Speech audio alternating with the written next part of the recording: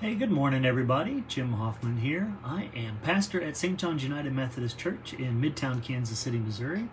And it is Tuesday, and a little bit before noon, it is time for our daily devotion. So I am starting our Facebook Live event for our devotion time. I'll be your host and guide today, so I want to invite you to come and join me.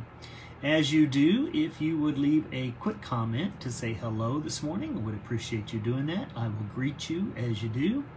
And then I'll also announce what our scripture is for today. Uh, we'll be reading out of the Upper Room as we do each day, taking a moment to reflect upon it and pray. Hi, Stacy. Good morning to you. Good to see you.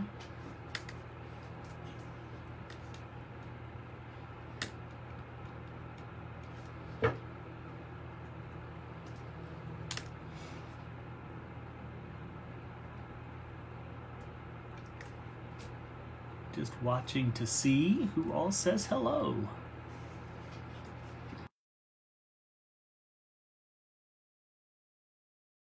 A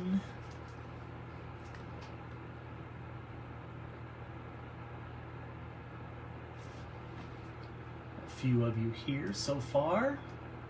Again, leave quick comments. Hi, Jack. Good morning to you. Glad you are with me.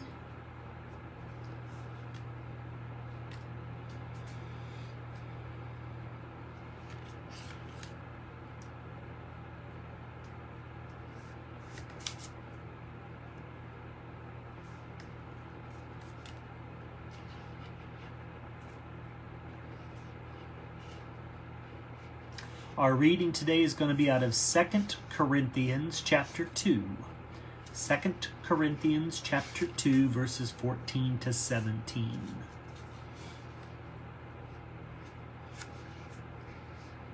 Hi Linda, good morning to you.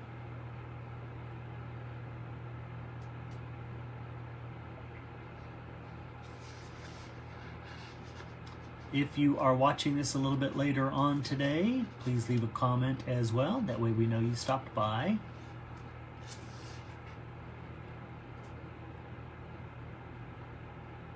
Second Corinthians chapter 2 verses 14 to 17 is our Bible reading.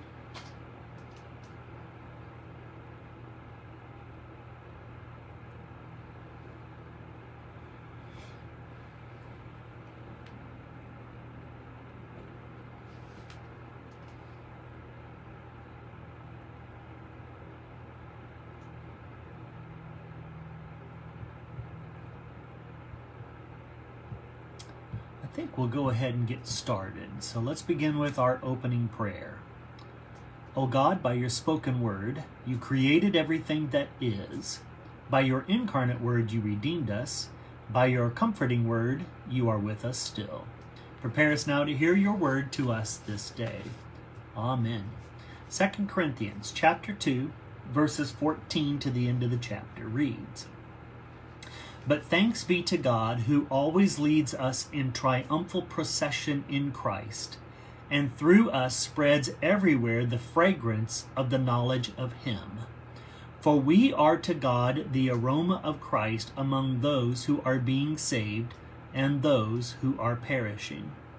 To the one we are the smell of death, to the other the fragrance of life.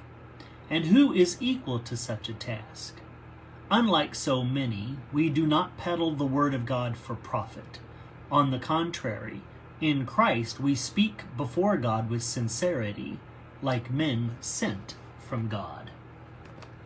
Our devotion writer today is Robert Racine. Robert is from North Carolina. His focus verse is Colossians chapter 3 verse 16. It says, "Let the message of Christ dwell among you richly, as you teach and admonish one another with all wisdom, through psalms, hymns, and songs from the Spirit, singing to God with gratitude in your hearts. And here is Robert's devotion that he writes for today. He says, Not being blessed with natural music ability, I found it difficult and frustrating to learn new songs with the praise team at my church every week. Five years ago, I never heard any of these songs and did not understand the reason for worship. nor did I realize that many of the songs were actually based upon Bible verses and, or older hymns. At first, performing each week made me anxious and uncomfortable. But then the Holy Spirit taught me that it is the heart of worship that counts, and the message of the song rather than its delivery. Once I stopped focusing on performing perfectly, I realized that music offered as a labor of love and worship is beautiful and pleasing to God. The purpose of playing music and singing is to praise and worship God. The psalmist says, I will praise God's name in song and glorify him with thanksgiving. We worship aloud to acknowledge our God, our love for God, not to perform or seek admiration uh, for um, admiration for ourselves. The voices and sounds that fill every church around the world are pleasing to God, especially when our hearts and minds are open to the truth and the power of Scripture contained in these songs. So the thought for the day is I will sing boldly with a faithful heart as an offering to God. So, um, nine years ago, um, uh, when I was appointed to St. John's, well, a little over nine years ago when the appointment process began, uh, most of you know that at the time I was serving at North Star Church which is in the Liberty area. Um, and before that, I spent five years on staff at Lee's Summit.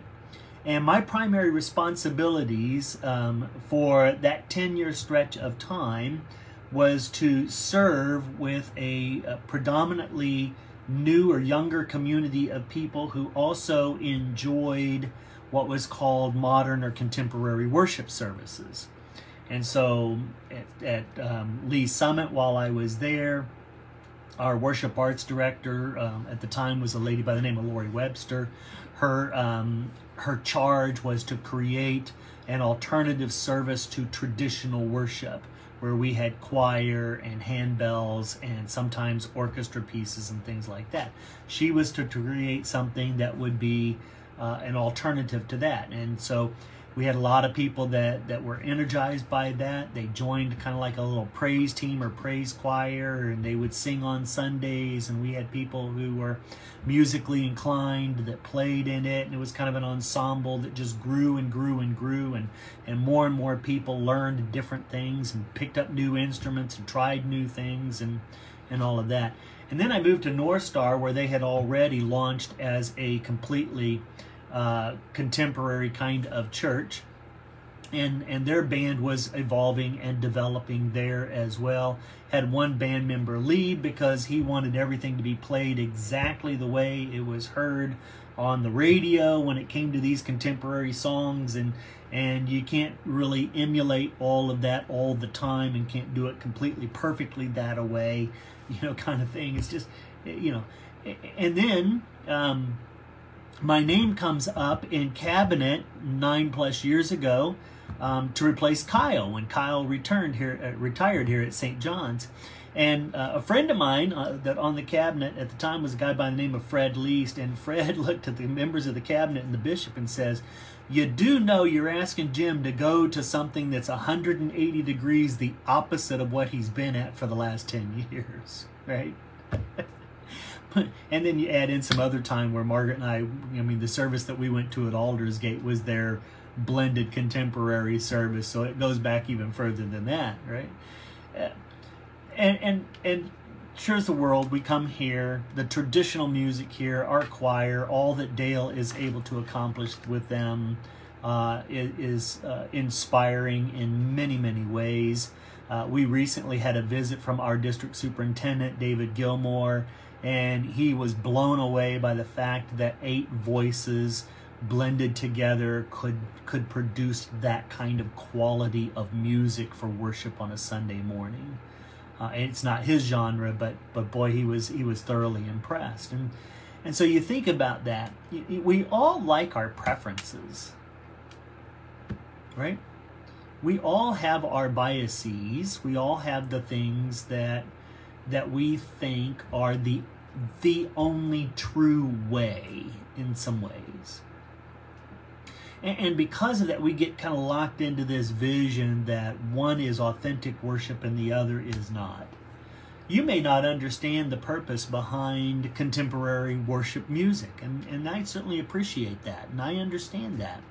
For those that do appreciate it, it um, it is almost um, a Gregorian chant style of music. You may be repeating the same thing, but there's a there's an element by which the Spirit can move through that for certain folk, and it draws them into worship, just like singing old hymns and listening to wonderful choral music um, does for those of us that, that reside here at St. John's and love the worship here at St. John's.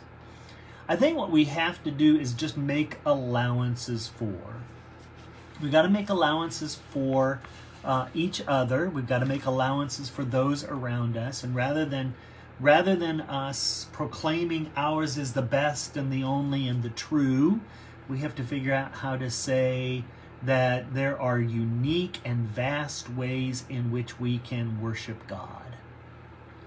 Psalms, hymns, spiritual songs. Notice that the writer lists three different ways at least in which one could sing to God with gratitude in your hearts psalms, hymns, songs from the Spirit. Right? So let's think about the ways in which we encourage others to engage in this practice of singing praise to God versus us saying, you know what, I can't stand that or I can't stand this. Because if we do that in public, we're putting down the church universal. And I'm not sure that's exactly a healthy thing for us to do because honestly, there's enough going on in the world around us that's trying to figure out how to minimize the church. We don't need to help that along in any way whatsoever. So let's think about how we can be positive and we can be encouraging and we can be open and vibrant people who may have our bias towards one thing and we appreciate that and we that's the way in which we worship it might be the hymns for us, while it might be the spiritual songs sung in the Spirit for others. And let's just encourage people. Let's encourage one another to practice this. Let's encourage one another to dwell richly in the message of Christ and to admonish one another to worship God. And I think in that, we will also embrace and encourage one another and we will find that the church universal will be healthier because of that. So let's take a moment to pause and pray. O gracious God, we ask that you make us instruments of your love and your peace through song. Focus our minds, soften our hearts, open our eyes and our ears to the truth of your word, and we pray this in Christ. Amen. All right, friends. Well, thank you so much for joining me today for our devotion time. I am so glad that you were here. Don't forget, we'll be on for tomorrow's devotion time as well on Thursday, Friday, Saturday. We'll be here each day, so I want to encourage you to come and join us. Again, if you watch this a little bit later on, don't forget to leave a quick comment and say hello. Uh, by the way, hi Shirley and hi Marcella. Glad that you made it today. If you want to, feel free to also post this on your own timeline, your own Facebook page, uh, as a share, and we would appreciate you doing that. Otherwise, I hope you enjoy the rest of your Tuesday, and may God dwell in you richly, and may you sing praises to Him the rest of today. Thanks, friends. See you soon.